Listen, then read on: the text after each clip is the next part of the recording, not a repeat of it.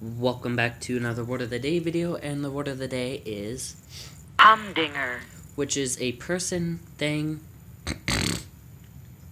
action, or statement of remarkable excellence or effect. So, I honestly don't know anything like this, except for maybe the word humdinger itself, but then again, I don't know. So, down to origin.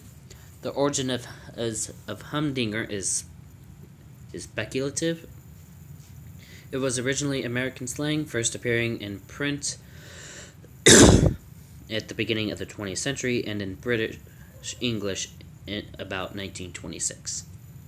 So that's about it with that.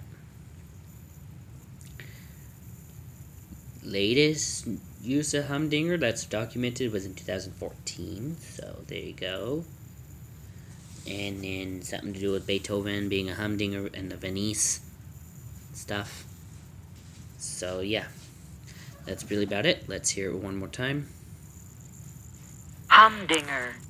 Clear out notifications, if any, and see you in the next video. Bye.